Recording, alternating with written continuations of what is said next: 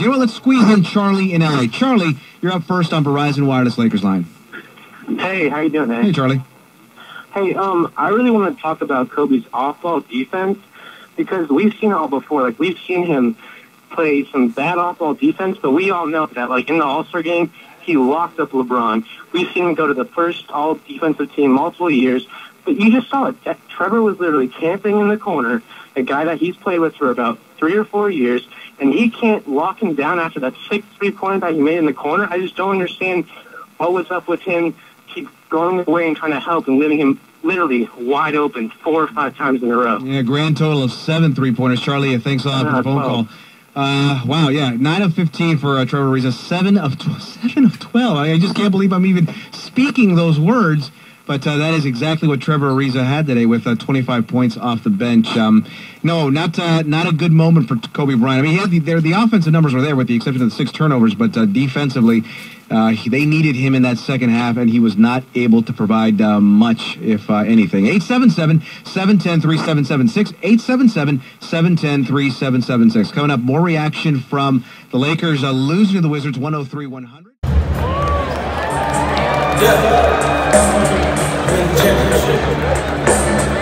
Tell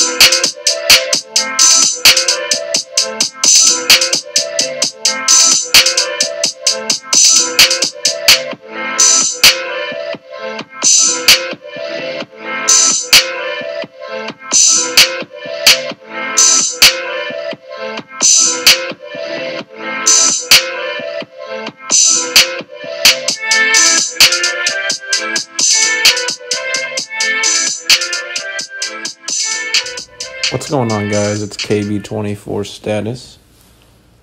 Charles Ryan, Kobe24 MP3, Charles Barkley, Chucky Atkins, Chunk, Chuck, or simply the biggest Laker fan on the planet. We're back with another episode of Lakeshow's Finest Redux, and Andre Ingram played a good, oh, what, three minutes? That's what I call efficiency. Let's lay the smack down to one of the worst teams in the league, and then we can put in Andre Ingram. Wow. So, good win, good win. LeBron played hard, whatever. Kuz played well. Had the sick crossover. I don't know if you all noticed, but I don't know. The fourth quarter, I'd say, Kuz had this sexy crossover on Lauri Markkanen. He did a little uh jab right, uh left, two pump up. Reminded me of a little young Kobe right there, and laid it in. That was hot. Don't want to talk too much about the game though. It's kind of meaningless to be honest. Um, not really sure how this even was a game in the first place. But it all came down to a W. Snap that five game losing streak. Um, so I want to talk about a little bit about Brandon's health. Um, LeBron's comments, kind of repetitive.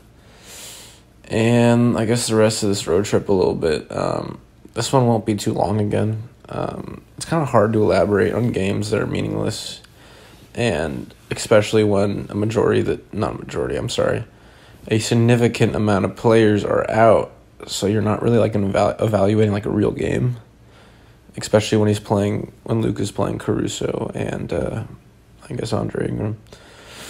But yeah, let's talk about Brandon. Um, my dad's a doctor, so when he like told me exactly what the blood clot thing was, kind of freaked me out. Um, thank God, thank God, he's only twenty one years old, right? I mean, think Chris Bosh. This is different, but Chris Bosh had blood clots in his lungs, but that was when he was like thirty four.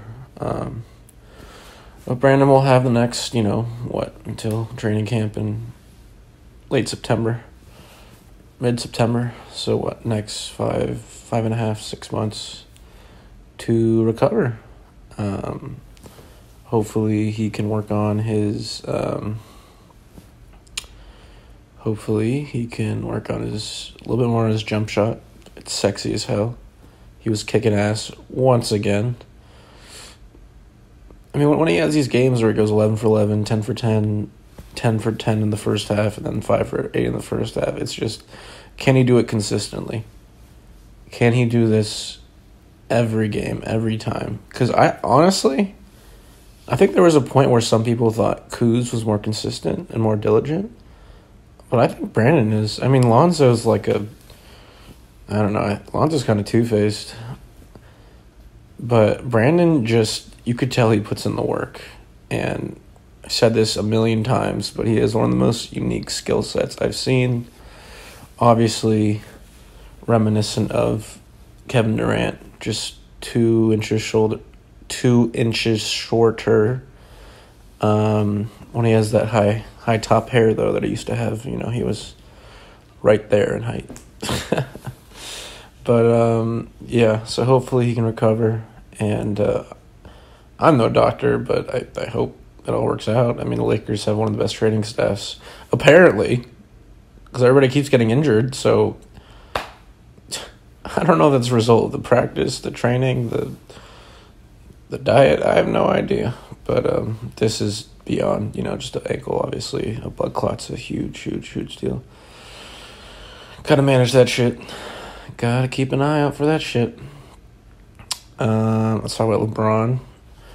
The past like three weeks, and I really, really, really think LeBron cares about his public perception. I really do. I, I think LeBron cares about his public perception more than any other player in the history of the NBA. To be honest, he kept, he kept he keeps saying over and over again, "Man, these injuries kind of fucked us." Before I went down, December twenty fifth, we were the four seed.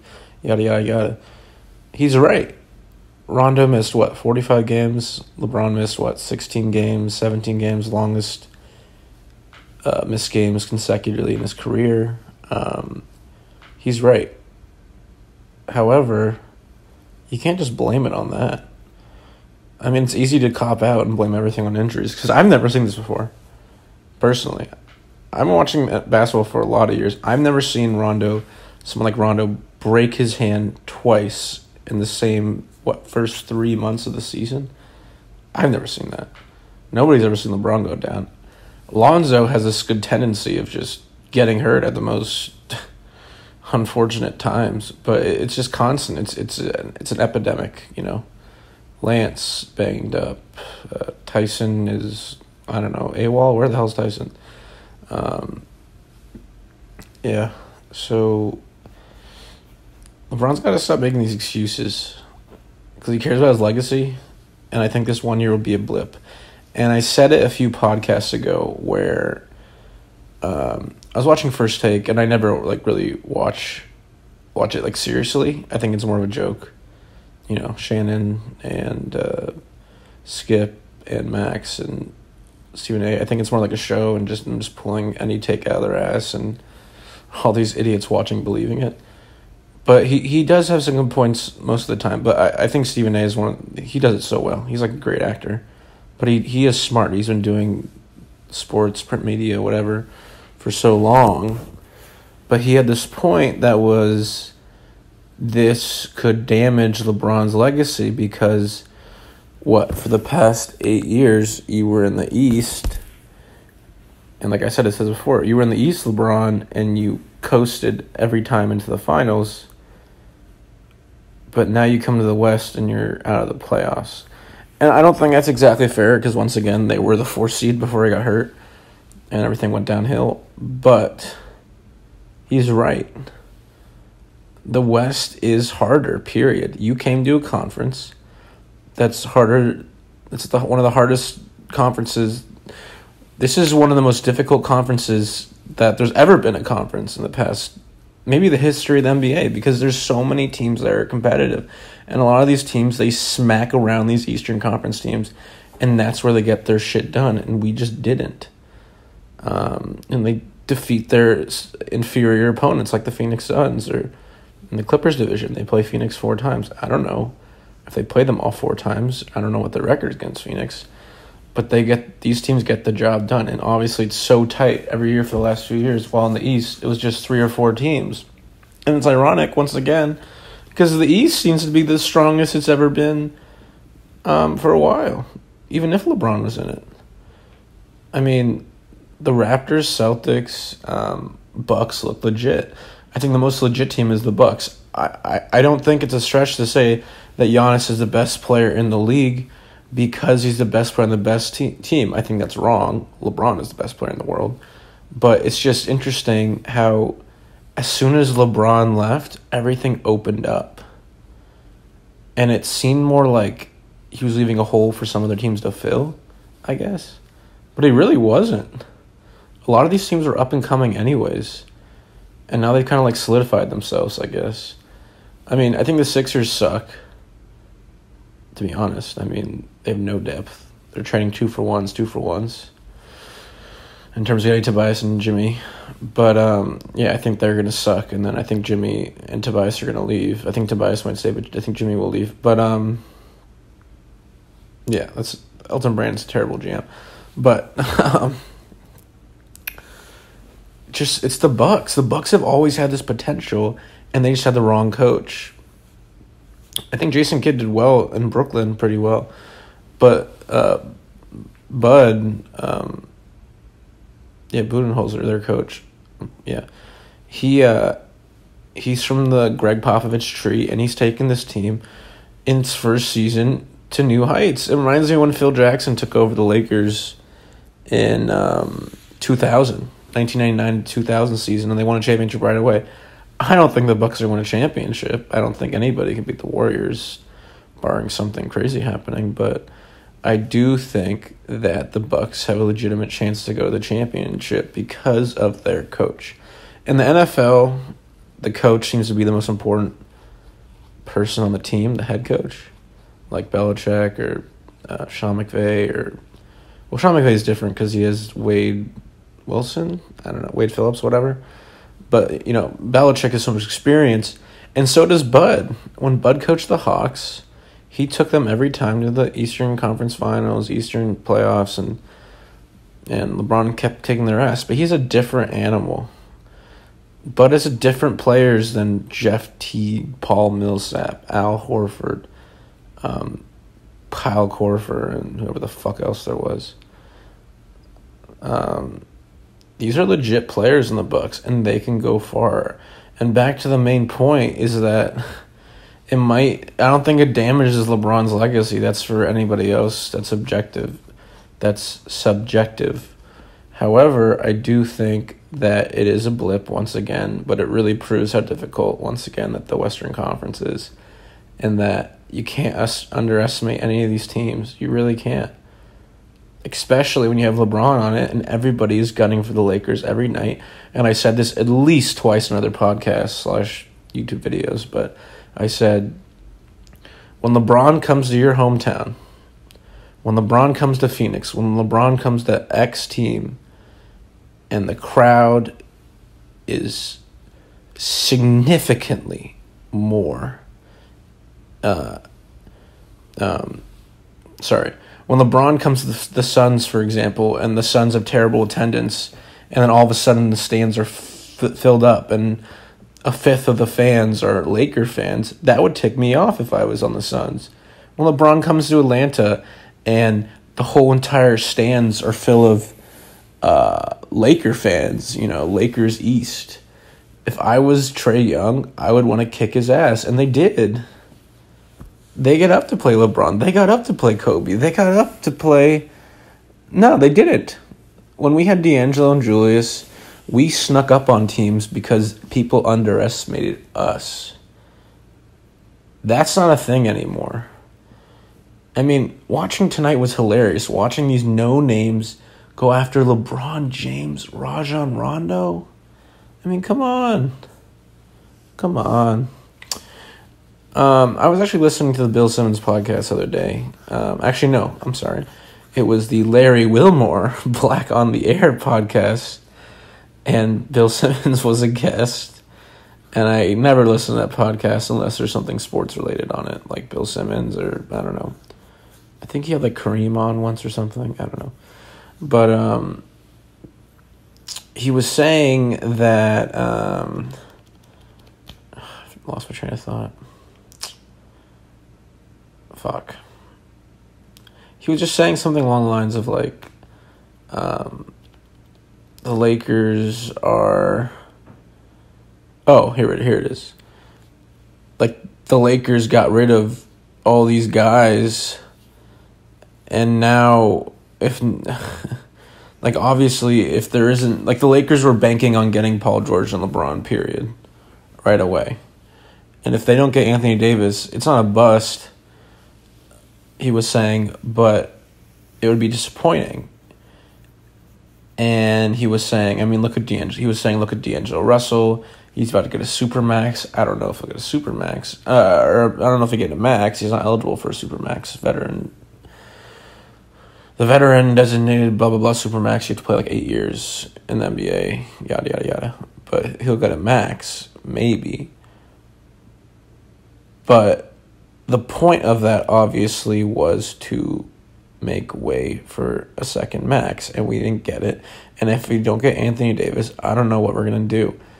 Clay would be nice, but he's a little bit older. I think the best thing we could do is get Anthony Davis or Kyrie. And I think it's better to get. I don't know. Because Anthony Davis's contract isn't up next summer, right? I think if in a perfect world, I would get Kyrie for one year and do it as a test year and see what happens. And then from there, when Anthony Davis is a free agent, then I would negotiate. Uh, and then I would get him. But also, you have to think about this if you have Kyrie, then you don't want Lonzo, which means you trade Lonzo plus somebody else for AD, right? So you have Kyrie, AD, and LeBron. I don't know the money situation. That probably means you cannot give Brandon a rookie extension. I don't know the whole details about because the rookie extensions happen before free agency. I'm pretty sure.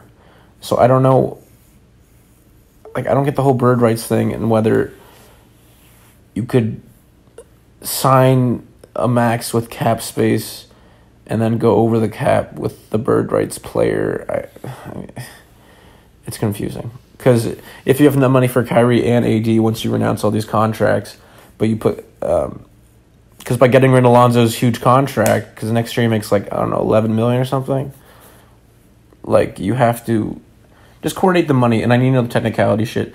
My point is, in a perfect world, I would get Kyrie, LeBron, and then AD, and but trade Lonzo to get out of that, and then you got to figure out Brandon because Brandon is the perfect, in my opinion, perfect number three player. And when he's a number three player, I really think that's when LeBron goes out or AD goes out, he can take over and take that load off because he's just that good. And I think in time, give it, I don't know, three to five years in his prime, he'll be one of the best shooting guard, uh, like a small forwards in the league. I really do.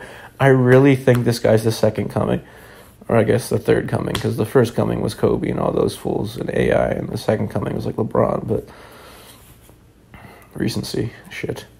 Maybe I'm ranting too much. Sorry, guys. but I don't know. I guess that's enough of that. But the point is, back to Brandon and his blood clots. No, just kidding. Um, should be interesting to see what happens. Um, and I, I, I think Stephen A. is right when he says it shows how weak the Eastern Conference was, and everything's going to change in three months when free agency starts on July 1st. So I guess that's four months, less than four months. Um, next podcast will be an evaluation of most likely Lonzo Ball, but we'll see what happens. Um, I, I mean, uh, preview. It's not like I'm freaking, I don't know, like teasing you guys. I just, I'm going to dive into Brandon overall stats, his stats prior to the injury, uh, um, um, his percentages on PNRs, pull ups, um, three point percentage through X uh, through the beginning of the season, the middle of the season, after post LeBron injury, uh, when LeBron came back and they were playing really well together, um, all that stuff. Um, his pull ups from 15 feet, um, just everything. And uh, we're really going to deep dive into this. What I think Brand needs to work on, I mean, who am I to say? But it's just an opinion. Uh, well, right now he needs to work on his health, but what can he do once he's healthy to get there where it needs to be? Because last summer, if you guys recall, Lonzo was hurt through the whole summer, and that stunted his development. Obviously, summer's opportunity to get better, and he couldn't. And right now, he's missing even more time. So, in a perfect, in a perfect world, if he had all this development, it was so much all, all this more experience, it would just been so much better. But uh, that's another reason why I wouldn't mind trading him.